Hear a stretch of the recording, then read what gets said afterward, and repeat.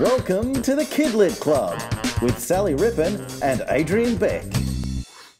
Hello, everyone, and welcome to another episode of the Kidlit Club. Here's Sally Rippon. Here's Adrian Beck. We are your hosts with the mosts, and we're going to take you through the world of Kidlit uh, this episode. And look, we've got some exciting stuff on this episode, so I'm going to get straight to it.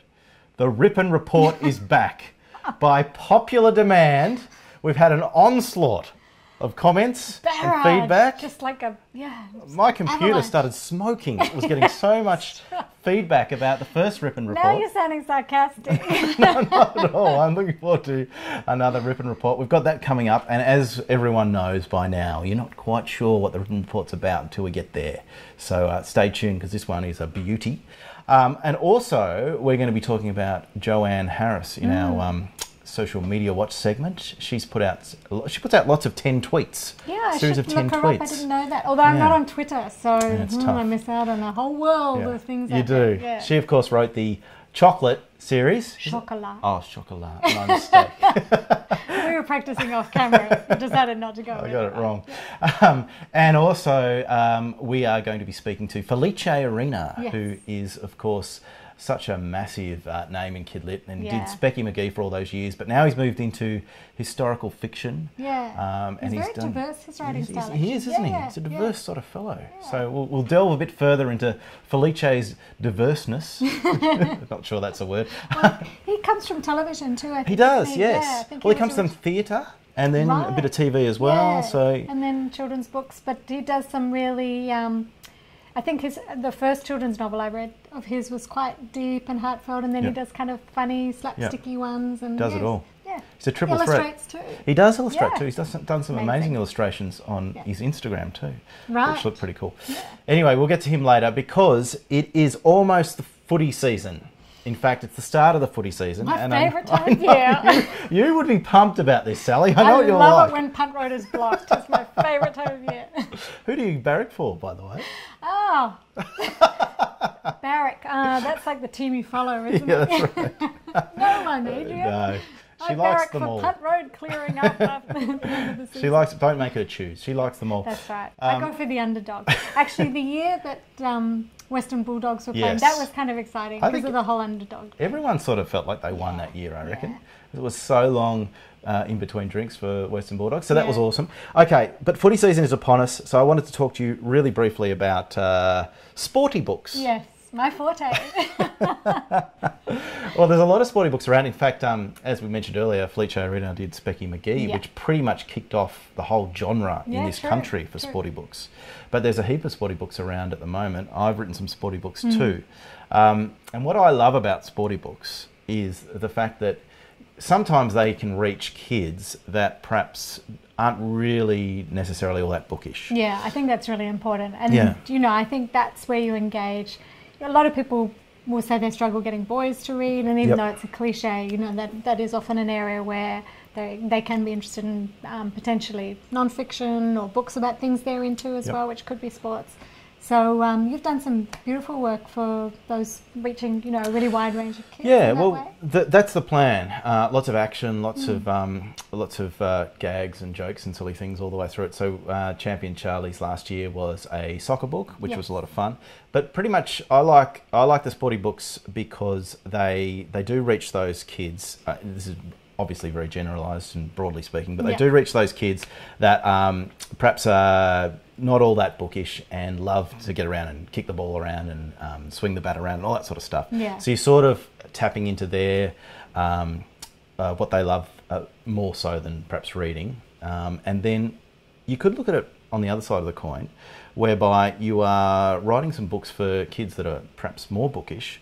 But maybe they could benefit from, you know, getting outside and doing a bit of exercise. Getting a bit of fresh air. yeah, playing on a team and all that sort of stuff. So you kind of, I like to think that you're kind of reaching both sides uh, there with the with the sporty books. I've got a friend who says there's two types of people in the world Yes. people who need to read more and people who need to get out more. I'm definitely of the former.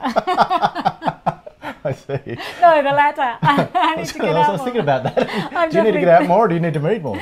No, both Could you read more? Could, is that possible? I, you can never read too much. I see. But there was a really great series that I actually really enjoyed reading last year. It's just come to mind is the Play Like a Girl. So when Yeah. um, the about Joe girls- Stanley. yeah, Joe Stanley about Yep. girls football because that was kind of exciting for me too. Who's Mm. not. uh, You know, I don't really follow sport. I didn't grow up in Melbourne, Mm. so football isn't really my history or my culture. Um, but that's but it was a really exciting buzz when women started playing professional football. was. And so to have that Yeah. series out for kids was really fun, and I really enjoyed reading them because a lot of it's about teamwork, friendship, um, and that's where I think you're right that kids that may not think they're into sport or adults that may not understand sport can see that it, what it really Yeah. stands for. Yeah, exactly. I remember that um, the very first AFLW game at Princes Park, and it was a Right. sellout. Yeah. And people had to be turned away. It, It would was have so been amazing. popular. And imagine just- being a grandmother saying that I played in that first Yeah. game. You know, t- telling your amazing, isn't granddaughter that or something would be lovely. Yeah, it's Yeah, great. Very special. So there is room for sporty books, and we love our sporty books. So uh, keep them coming.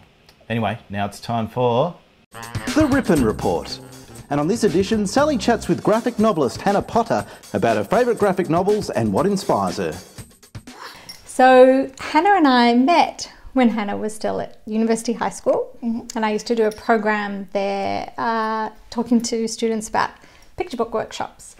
And Hannah was in one of my classes, and she handed in this most incredible graphic novel. Oh, stop it. No, seriously. And as soon as I went into the library and the librarian handed this over, I said, I've got to meet this girl. This is the most astonishing work. It was completely like nothing I'd ever seen before. And this is year eight. So what were you like about? I, was, I would have been like 13. 13? 13.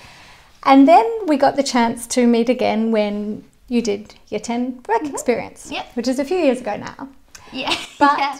one of the reasons why I think it's important to talk about this is that I certainly really struggled when I was a teenager to be taken seriously in my want to pursue art. Mm. Fortunately, um, I had some really great art teachers that really encouraged me to keep on going with it, but it was never considered a real option. Unless you do like graphic design or something. But if like you want to do illustration or just be an artist, that's kind of like, ah, I don't know about that. Yeah. Hannah has just kept on working, which to me I think is really exciting because it means that it's obviously what you're going to do. You love it, you're passionate about it. And Hannah has gone on to create more and more work, many graphic novels. Mm-hmm. One in particular you've been working on for maybe a year. It took a year and a half, yeah. Yeah, a year and a half. That's the kind of commitment it takes to put a graphic novel together. Yes. So tell me a little bit then. You've been working on this for such a long time. What mm-hmm. is it that? Do you mind if I ask you how old you are? Is that embarrassing? no, that's not embarrassing. 20. She's 20. Okay, so when I first met you, maybe 14 or something like Yeah, that. So we have known each other for a while. Mm-hmm. So why, what is it that keeps you going? Because can I just show Yes, the audience course, this? of I'm just going to just show the pile of paper.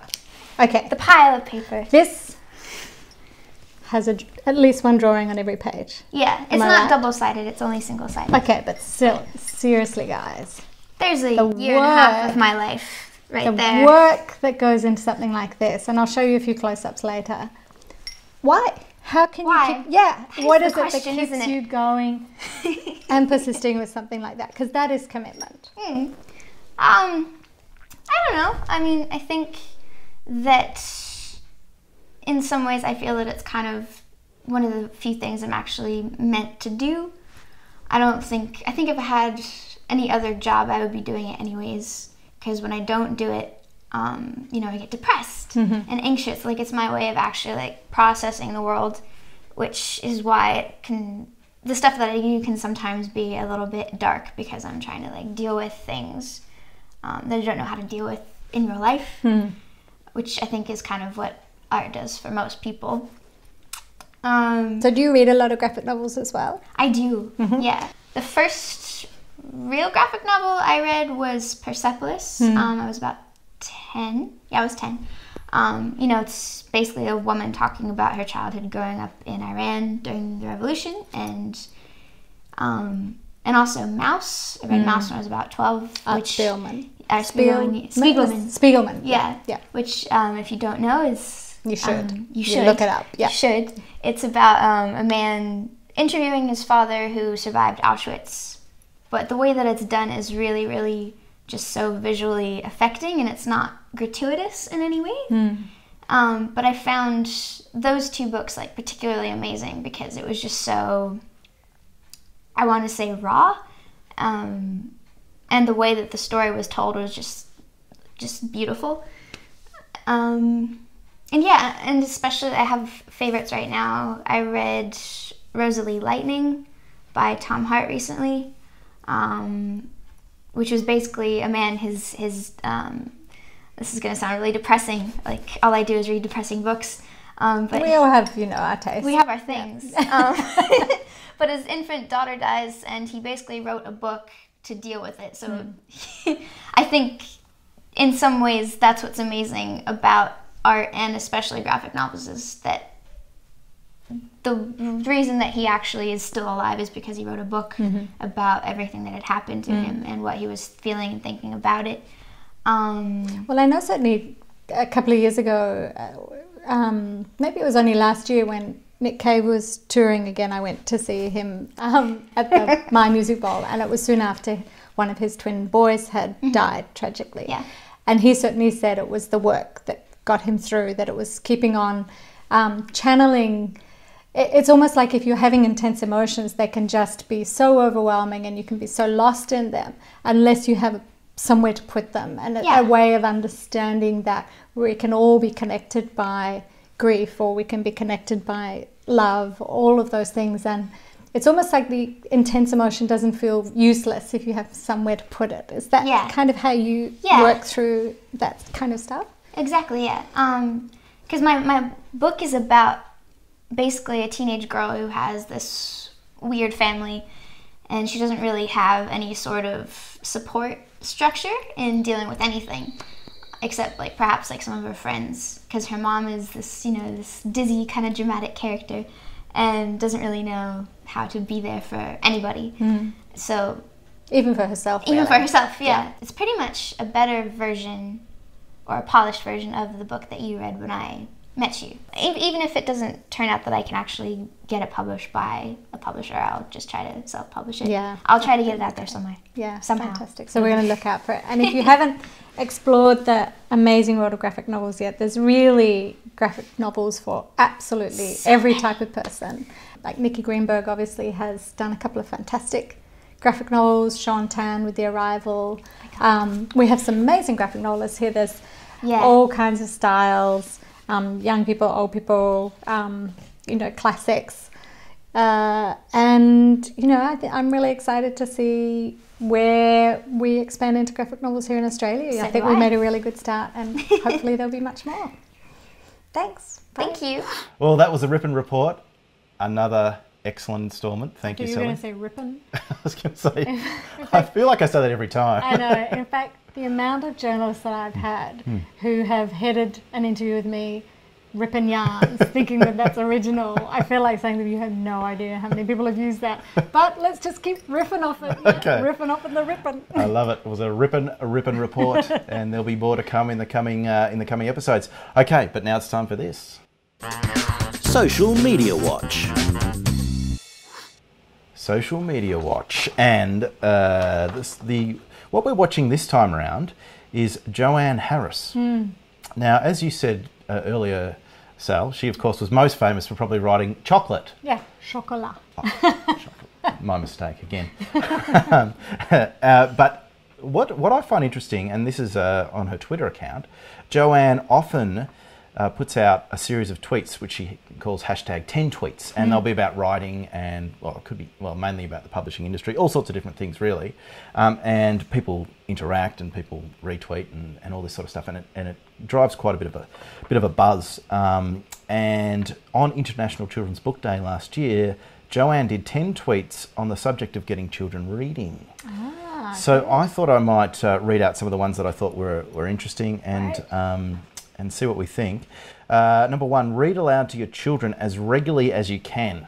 Yes. Which Double thumbs up for me. seems pretty obvious, doesn't Yeah. it? But um, it's so easy to let that slide. But if you make it part of your routine, Yeah, and I think also it's such a special time in the day. You know, we're so flat out and we're kind of rushing here and there. It's sometimes just the one little moment in a day where it's just you and the child. Yep. And so it's so memorable that that time for the child and so Yep. important, not just for the reading but for the connection. Yeah. So yeah, double thumbs up from me. double thumbs up. Excellent. Uh, another one, let them see you reading for pleasure, Yeah, especially blokes. especially really dads. important. Rad dads read, Yeah. which is what I'm, what I go on about. Yes. Um, yeah, kids need to see their dads, uh, their parents, Hmm. but also specifically their dads, because oftentimes, and, and I know we're changing and we're evolving all the time, but oftentimes dads can fall beside the fall by the wayside a little bit with that sort of thing. Yeah, and even just in a lot of things that involve education, you know, not always, but it will often be the mother that is doing the reader or the communication with the school, and so that can mean to a child that they associate reading or education as a feminine domain, which then can sometimes be problematic for boys. But if they see, and that's why I think it's really great to see photographs of, um, you know, soccer players and footy Yeah. stars and red dads like yourself reading, Yes. so that they can see it's a, you know it's something that men do as well. Absolutely. and, and that's great role, role modeling. It is for sure. The other thing about that is that um, it gives you an excuse to actually read those books that you've been trying to read. So, so you're not neglecting your kids. Yeah. You're doing good role modeling in the Yeah, corner. yeah. You know. Absolutely, that's right. So I think it allows you to have a bit of me time, which I like too. Better behind a book cover than on your phone, right? True. Exactly. Uh, talk about the stories you enjoy. Good idea. Yeah. that's good. Make it a pleasure, obviously. Uh, never criticise your child's choice of reading material. Yeah, it's a That's a big one, isn't it? I think it is a big one, and it is a really tricky one. I remember my two older boys were very good readers, and we had a little ritual where once a week they would do their taekwondo lesson, and we got to the local bookstore, Yep. and they could choose a book each, and then I would choose a book for them. And they would often choose movie spin-offs or you know Minecraft or Lego or whatever because Yeah. they were little and that's Yeah. what they were drawn to. Yeah. And then I would choose the one that I wanted them to read, but they'd often end up enjoying them equally. And I think that was important for me to uh, acknowledge that they need to de- develop their own taste and their Yeah. own interests as well. Exactly. And reading's reading. It's better that they're Yeah. reading something rather Yeah. than nothing. Absolutely. And you never know. Once you start with one book, it could lead to others anyway. Yeah. So, yeah, reading's reading in my book.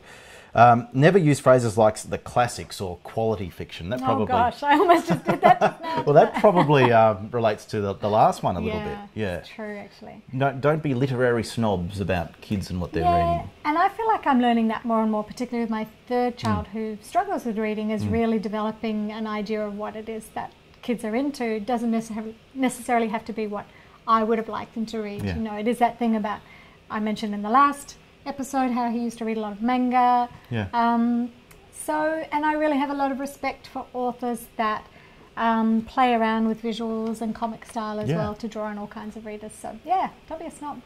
don't be a snob. Yeah. Good advice. Uh, and the last thing I wanted to pull out from uh, Joanne Harris's 10 tweets on getting children reading. Uh, if your child is a reluctant reader, try reading them the start of a really exciting book and then being called away. That's really cute. That's a like cool idea, isn't it? That's a great idea. wait, wait, wait, Dad, finish, finish. Next. That's why. That's why a lot of writers end on cliffhangers. Yes. At the end of a chapter, Yeah. so the kids just bust into Yeah. to find out what happens next. Absolutely. cute. I, like, that it. idea. Yeah. Leave them wanting more and they might delve into it themselves. Okay, that was Social Media Watch. But now it's time for this. Our special guest. Special guest time, Felice Arena. Yeah, fabulous writer. A lot of fun. Really nice guy too. He's a great guy, and Yeah. uh, we're going to be talking to him. I'm, I went out and had a chat with him, uh, and as we said before, he's known for so many books. Yeah. He's got so many different, like funny books, Yeah. um, sporty books, Specky Magee, um, and now he's delved into the world of historical fiction. Yeah. For have to re- kids. yeah, I'm really looking forward to reading them. Yeah. And he's done a great job, and I'm going to have a bit of a chat with him and find out all about it. So here is Felice Arena.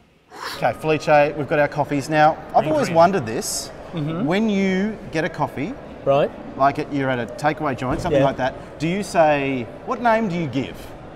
Because Felice I is used a pretty use tricky Felice, one to Felice, pronounce. Felice, Felici, Felici. No, I actually Felix is the English version. Oh, is it? And I have, Felix? I have a few people who call me Felix. Felix is a very popular. Name. And I probably name should have days. gone with Felix as I was growing up, but um, I didn't because of Felix the cat.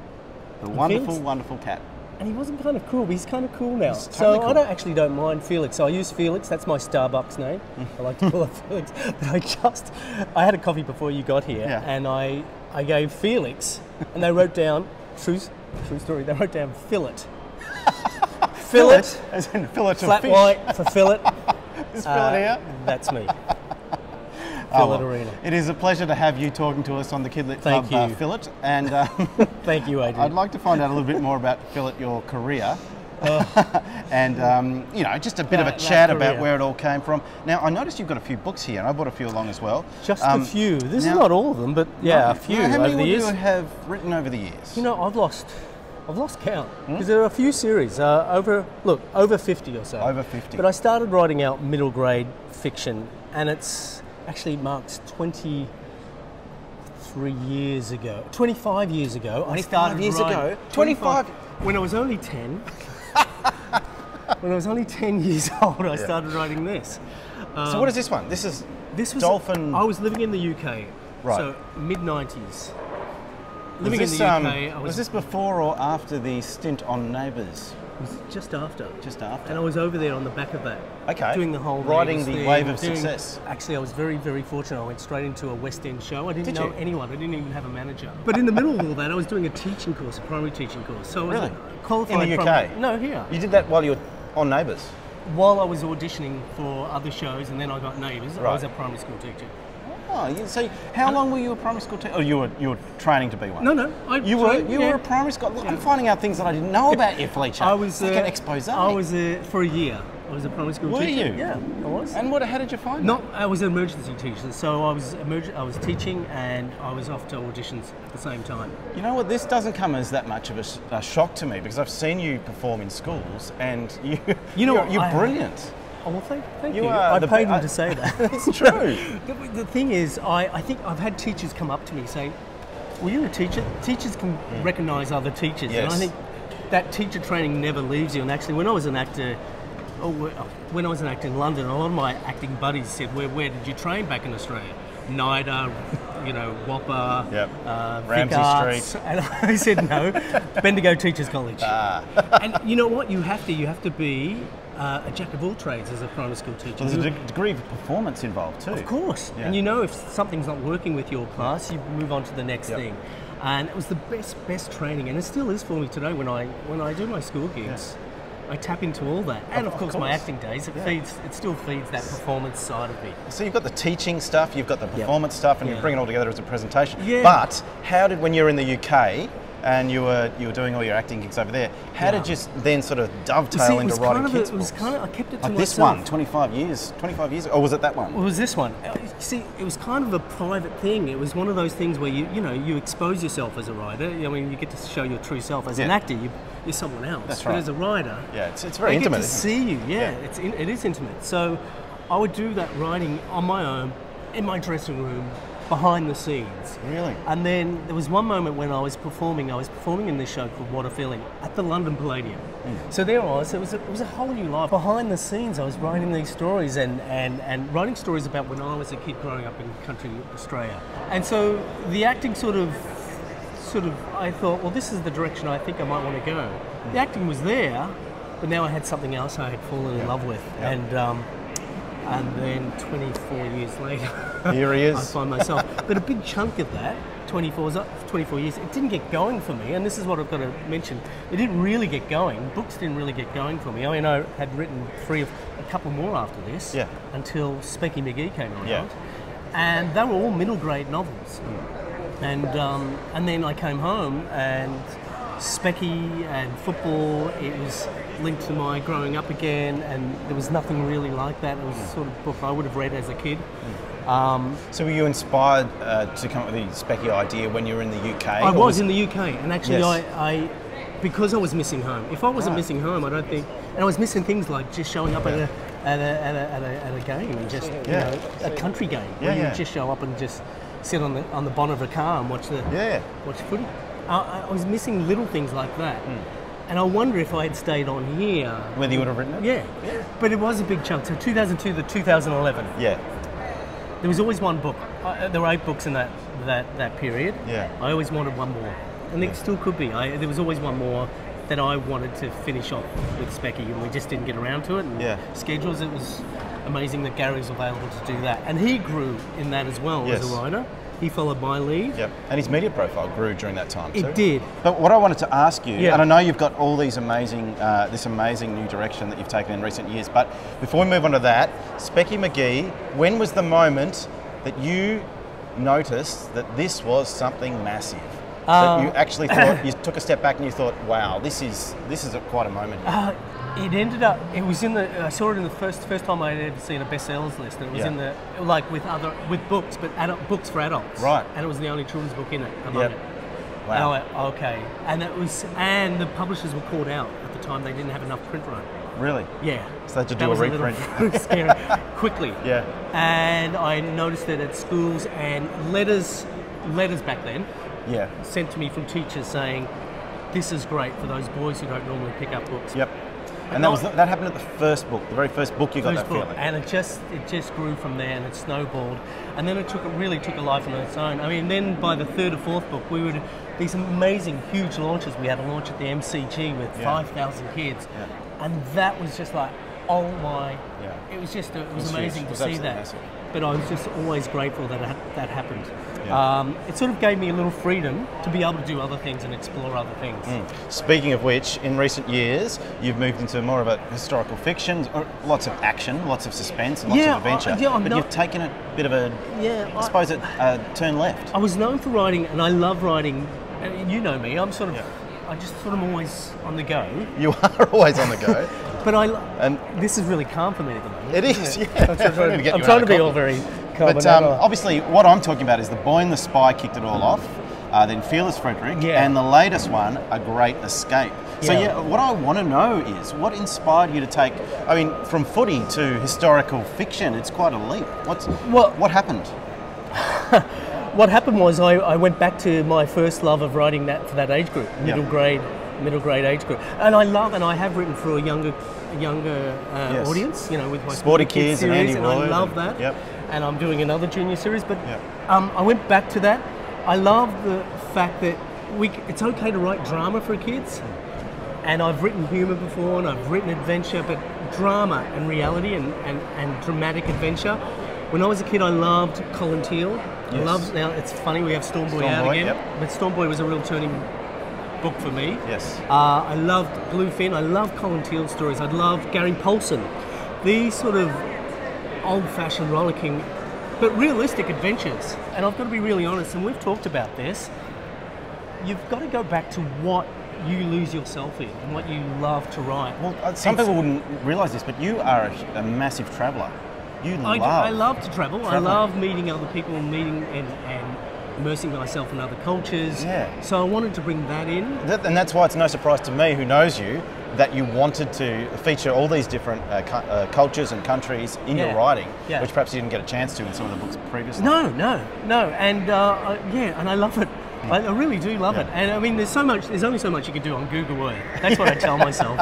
I really do need to visit Yes, Paris. that's right. I have Well- to just sit in Paris. For example, I mean, Boy and the Spy, set in uh, Sicily. Sicily, uh, and then came Where my mum's from. Fearless Frederick, set in Paris, Paris. as you said, and then the latest one, A Great Escape. Yeah, this is the one. Tell yeah. us about A Great Escape. I mean, now it's starting to look like a series, it- even it though they're one-off. They're one-off stories. it definitely looks like One-off- they're, they're yeah. all combined, absolutely. And I would love if they if readers would read all three. Yep. I mean, that's what that's what I'd hope. But they're all one-off uh, standalone novels. Yep. This one, this was a little tougher. Escape. Now I wasn't really The sure if I great, should a write Great this. Escape. Uh, it's set, and I'll, I'll, t- I'll explain why. It's set in Berlin. I'm glad you did. 19, yeah, I'm going to anyway. set in Berlin, 1961. Yep. Uh, it was the day. It's set, the story starts on the day the wall goes up, the Berlin Wall. Right. Now, for us, that's probably not considered history. I suppose it's modern history, Hmm. but for kids, they're probably hearing about this for the very first time. Yeah. It's the anniversary of when the wall went down this year. Okay. 30 years ago. Yeah, wow, right. 30 years ago. And I remember watching it on the So news. I, actually, yeah. And it was a huge event. Yep. Right around the world, everyone was watching when that wall went down. It was incredible, yeah. And I was in Berlin. I, my neighbours, when I, I lived in St Kilda, my neighbours were from Berlin. And I got to know a lot about Berlin. And then I went to visit them back in 2013. Wrote, and I'm always, when I travel, I always have bring uh, notepads with me and and jot down ideas and stuff. And I had some ideas then. And after Fearless Frederick, I wasn't sure should I do another historical uh, uh, novel. And, but I was having so much fun down this path. I thought, yeah, perhaps. And I went back to that notebook and I went, hmm, Berlin Wall. But you know what? So much has been written on the Berlin Wall, and it's political. And how do you how do you bring that to a level accessible for kids, the age group I'm writing for?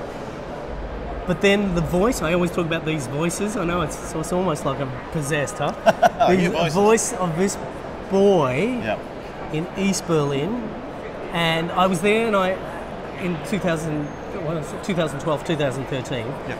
and looking at my notes, and the boy, you know, a lot of families were separated when that wall went up. Well, actually, it was just a barbed wire. It was called Barbed Wire Sunday, 1961 in August, and the barbed wire went up right through the middle of the city, cut right through the middle of the city, as we all know, east west and every, there were so thousands of families separated. And hmm. again, I always go back to what if? Hmm. What if that happened to me or you? Yeah. If you were separated from your wife and kids, Yeah.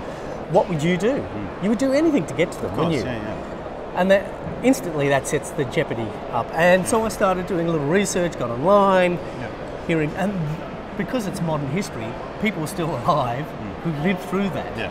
Which makes it a little easier. a little easier and and and real. Yeah. because you know Paris was 1910 everyone's passed away in the World War most of the veterans have gone. Mm. So but this they're still around. So I, I got to hear their stories listen to their stories talk to my friends in Germany as well and thought could I do this? And I really, really wasn't sure until I live in Melbourne in the city in an apartment. My neighbour next door only two doors down walks his dog he's a man in his 70s uh, walks his Labrador called Otto, and he's German. Has a German accent, and he said, Felix. He calls me Felix, not Felice. He calls me the English or the German version of Felice. Felix, uh, what are you writing now? And I said, "Ah," I said, Peter. I said, um, there's, well, I'm thinking of writing something set in Berlin. Well, you know, I'm from Berlin. Oh, you are? And I said, he said, what, what are you going to write? And I said, I'm thinking about around the time of the Berlin Wall when the wall goes up and a boy is separated from his family and he's desperate to get over or around that wall to get back to his family, mm. escape the east to mm. get to the west. And he said, Oh, well, you know what? I, I lived then there at that time. And I said, Oh, okay. And he said, You know what I did? I was a guard on the wall. Wow. And you're like, this is Oh, perfect. okay. this has to be written. I think I have to do this. yeah. And can, can He's I? lived two doors down from me, Yeah. so I've been able to draw on his experience and, and his ask him things. Peter. Peter. So I named the character after him, Peter. Yeah, so the, the lead character in the book, Peter. Peter. Peter. That's great. Okay, so Great Escape is all Yeah. about now. What is coming up? You know, I know Great Escape's probably Yeah. going to take up most of your year, talking about that in schools and all the rest Yeah, of it. yeah, I'm booked But in Are there yeah. other things that you can uh, sort of give us a little bit of an insight into what's happening? Well, now what's I, in the pipeline? Well, you know, you, you always want to evolve and you want to try something new, and, and, and, and how do you keep it fresh? Yep. I look. I have another idea for an historical action adventure, maybe you- closer to home. Oh. I'm still sort of feeling my way through, and I'm still waiting for that voice to come to me. Yes. I'm not going to just do it because oh well, now I'm on a. I've created something. Let's Yeah. just do it. need that moment of inspiration. I still do. I, I think I do, and I, think think, I've been doing it for so long. You do. What I kind of like about um, some of the things that I know, I've got an inside word on what's coming up for you, is that you've almost come full circle in some ways because The Boy and the Spy Oh yeah. has Look, really taken off in terms I've of loved- theatre productions. Yeah, I uh, last year the International School of Geneva read the book. Yep. They loved it. They said, "Could we do a play version with Yeah. our drama students?" Yeah. Year eleven. I said, "There isn't a play. What could you write as a play?" Okay. Sure. But I said yes, but I hadn't realised it was at the time they were going to work so quickly on it. I said, "Right, we've got you scheduled in for 2017." yep. Well, that was last, that was 2018. I said, oh, and this is back in 2017. So on the back of this, and it was still fresh in my mind, the story, I wrote the play. And it, felt like I had gone full circle, starting off as an actor, teacher, teacher, actor, writer, back to Yeah. putting all those elements together and doing what I love and being in front of young audiences. And this was such an amazing experience. So I went over there for a month. They staged the show. Now I've brought the template back. I know. And Aussie schools are able to. Yeah, Aussie schools, but I have a school in Scotland, a school in America at the moment, and a school in Rome who Right. have come forward and said this could be great for our secondary students. So if you're a secondary school teacher and you're thinking you want something new, hmm. and exciting that would appeal to young audience, like a junior audience, Yep. plus your hmm. secondary students. Hmm. And then it could be The Boy and the Spy. the so Spy. you can go to theboyandthespy.com if you're interested in staging it at your school. And then they, you know, they could they could tie it in, they could tie it in with the books and read the book and then and see see the show as well. Perfect. The whole package, just like Felice Arena. The whole package. Thank you so much for having Thank a you, chat. Thank you. I, I This has probably, been really good. I I- probably need to have our- another coffee. our Uh, are- is, it, is it your shout or? yes, my shout, my shout, my shout. Garçon, Thank you, Go Felice. Or should I say, thank you, Philip. thank you. Well, thank you very much to Felice for having that chat, and it was Yeah. great to catch up with Felice. And his current book is A Great Escape, which uh, is what a great cover too. It's it's fantastic, and I hope you check that out and uh, enjoy that one. A Great Escape there by Felice Arena. Okay, we've come to the end of another episode. Sal. Sadly, I don't know where the time goes. Have to wait another whole two weeks. That's right. Chat with you again, Adrian. It's know. kill me. Yeah, you'll get through. um, uh, thank you very much to Felice. Thank you for another outstanding Rippon Report. And uh, may your footy team win. Yeah, yeah. Go, whoever's losing. yes, go whoever's losing. we'll see you next time. Uh, goodbye.